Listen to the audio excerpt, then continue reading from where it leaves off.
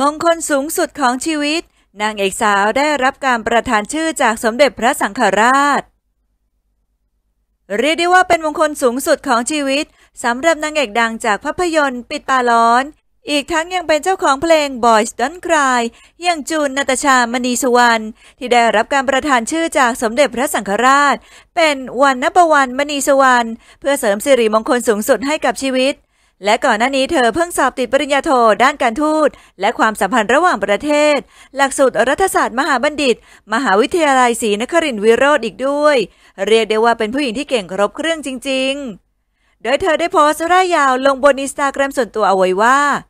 วันเกิดปีนี้ได้รับการประทานชื่อจากสมเด็จพระสังฆราช ที่สมเด็จพระเจ้าอยู่หัวทรงพระกรุณาโปรดเกล้าแต่งตั้งสมเด็จพระมหามุนีวงศ์เป็นสมเด็จพระสังฆราชองค์ที่ 20 ในเดือนเกิดสิงหาคม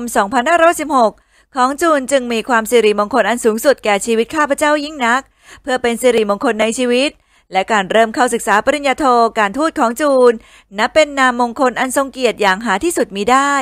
ข้าพเจ้าและครอบครัวปราบเลื่อมใจเป็นอย่างยิ่งจึงขอกราบสักการะบูชาสมเด็จพระสังฆราช และขอขอบพระคุณผู้ใหญ่ทุกท่านมาณโอกาสนี้ด้วยค่ะ ในการนี้ก็ได้ใช้ชื่อใหม่กับการเพิ่งได้เข้าเรียนมหาวิทยาลัยใหม่